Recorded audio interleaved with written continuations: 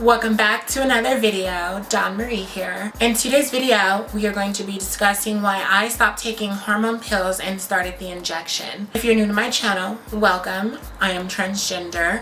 Um, I'm sure everyone else knows that by now. I take hormone pills on the daily to make sure that my body doesn't revert back to its original form or whatever. I used to take six milligrams of estradiol, which is the pill form of estrogen.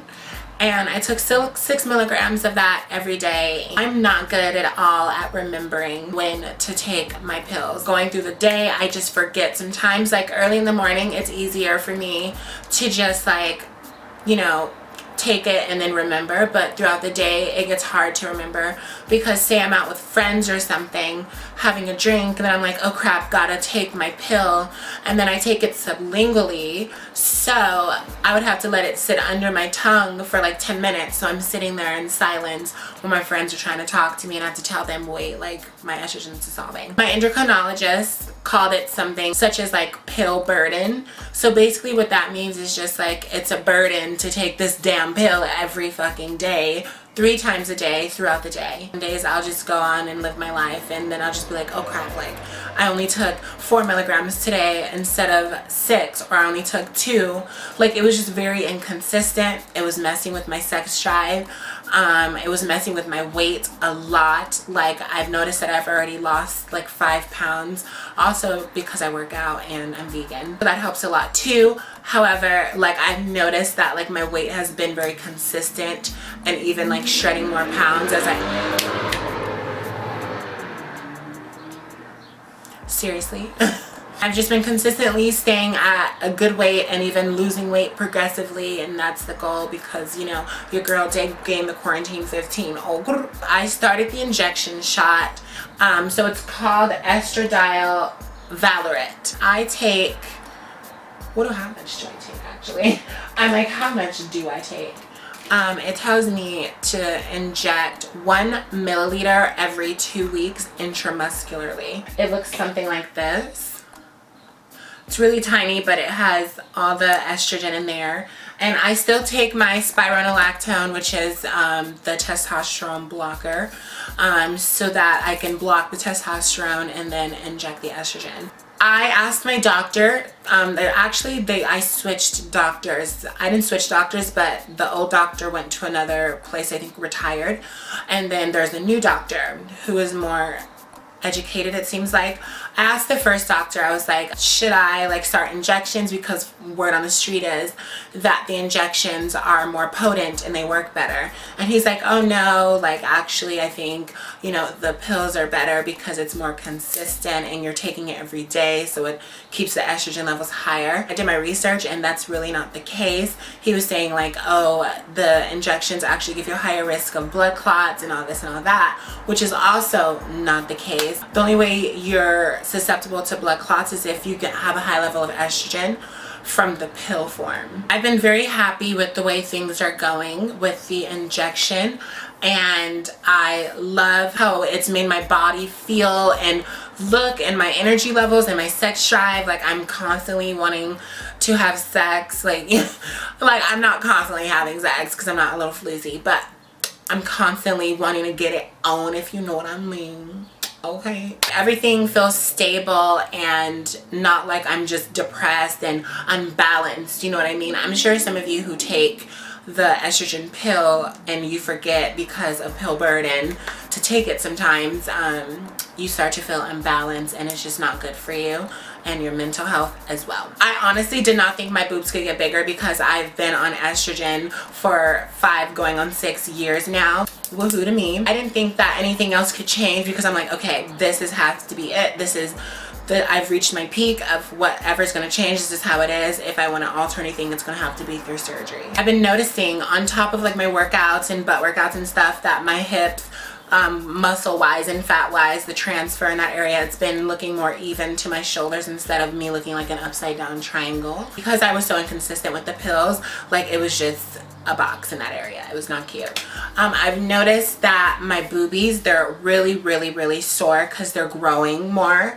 Um, and I feel like that is just the best feeling in the world because I was like, uh, I was been I've been wishing to get a larger size in my implants because my doctor did say don't go too big because your boobs are going to grow but then I peaked I or at least I thought I did and my boobs just felt like they stopped growing so um, they've been growing a lot and they are still so sensitive um, right now and I'm so happy about it to be honest. I could just tell the difference in like my bras my bustiers and my shirts and everything it's just popping. I'm also going to demonstrate how I do my um, estrogen shot today for you guys. So first you need to start with washing your hands, which I did already. And then I have my little uh, section set up right here today. So um, let me angle you guys differently. One sec, be right back. Okay guys, no lie, this is the part that always freaks me out. I've done this once before, but like it doesn't get any easier for me because I hate needles. Now the needle is pretty thin, but it is kind of long, so it freaks me the hell out. So what I have next to me, the estrogen. I have the little alcohol wipe that I prepped to wipe off the top of the estrogen bottle. I have the first needle, which is going to be used to take out the estrogen um, um, out of the vial into the actual needle. Um, and then I have an alcohol, sterile alcohol prep pad, which I'm going to be wiping the area of injection um, for today. And then I have my actual needle here and the one that's going to be going in my leg to inject the estrogen. The first step is always wash your hands though. I did wash my hands already, so I'm ready to go. And then next, I'm going to switch from that needle to the one that's going to be getting the estrogen out of the bottle. And so you just screw that on. Also make sure not to have your needle um, exposed to the air because of little particles will get onto it. And this little cap is what keeps it sterile until you're ready to do what you got to do with it you know? Okay so next I take my little vial and I wipe off the top just in case anything got on it so that we can make it sterile. You can tell that my whole vibe just changed because I'm so nervous oh my god. What you want to do there's little markings of how much estrogen you're going to be taking. So I'm going to go to number one, a little past number one, because that is the amount of estrogen that I'll be injecting today. So I pull it down. Okay, a little bit past the one. And then what you're going to do, remove the cap okay, from the needle and then you're going to insert here.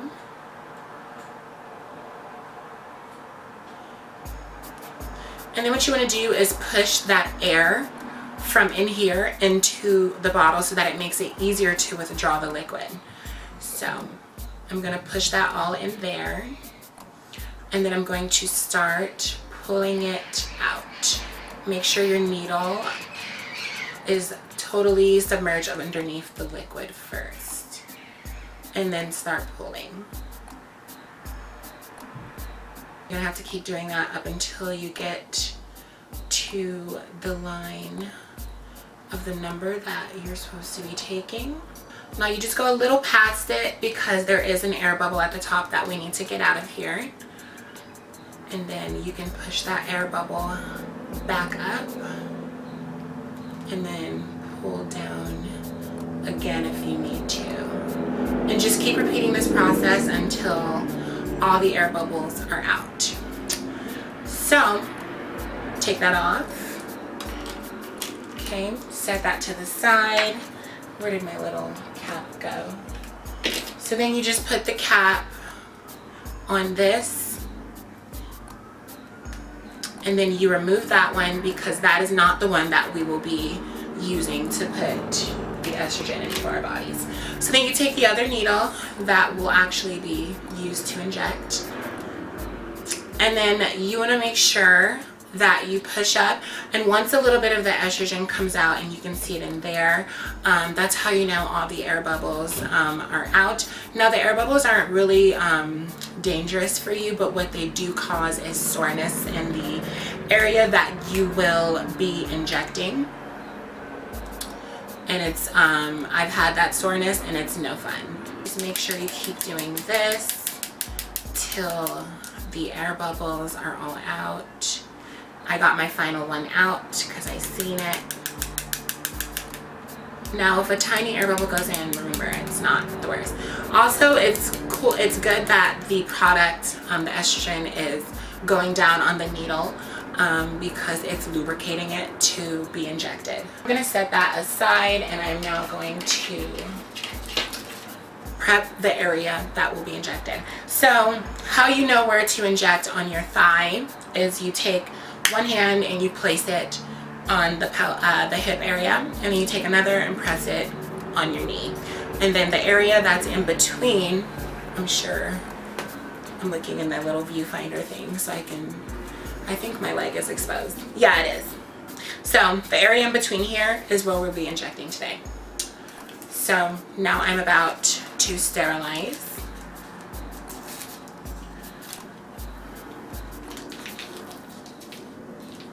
Ugh, guys, this makes me so nervous. I really hate doing this. So I did my other leg last, um, the other two weeks ago to inject. And so I'm just switching off so that it'll be like not the same leg each time. And like I like to inject like on the kind of like the outside of the thigh because that's where you know the muscle is. Take off the cap And then once you inject, you want to make sure that your leg is very relaxed, no muscles are flexing, and you want to pinch.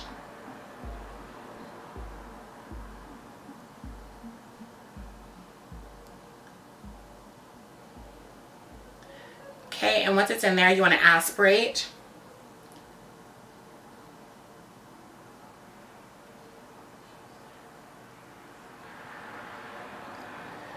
and now I'm done. And then you just want to put pressure on the area and you're all good.